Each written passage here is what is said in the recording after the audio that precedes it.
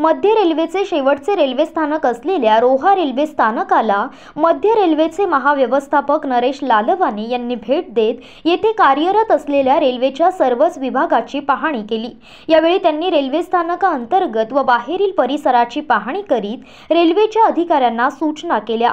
यावेळी रेल्वेचे विभागीय व्यवस्थापक रजनीश गोयल यांच्यासह रेल्वेचे वरिष्ठ अधिकारी स्टेशन मास्तर उपस्थित होते.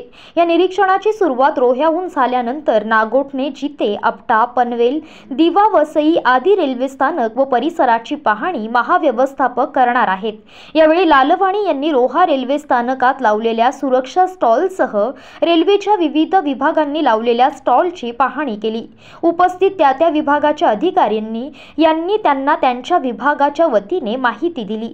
या पाहणी दरम्यान रोहा रेल्वे स्थानकाचा परिसर G P S base maintenance monitoring system ticket आरक्षण कार्यालय बोगदा वळण रनिंग रूम रेल्वे स्टेशन बाहेरील परिसर वाहनतळ आर पी एफ कार्यालय ट्रेनिंग कोच आदींची पाहणी केली. या सर्व परिसराची व स्टॉलची पाहणी केल्यानंतर महाव्यवस्थापक नरेश लालवाणी यांनी अधिकाऱ्यांना सूचना केल्या.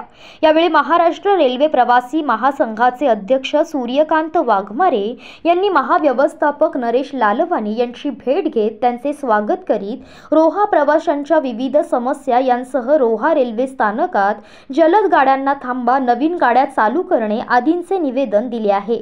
यावेळी महाराष्ट्र रेल्वे प्रवासी महासंघाचे मोहन उपस्थित होते.